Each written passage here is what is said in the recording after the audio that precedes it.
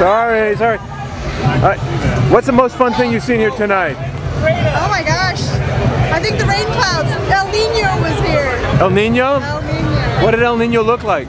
It was a bunch of clouds with like lights for rain, and then it said El Nino is coming. What did people try to do to your costume tonight? Solve me.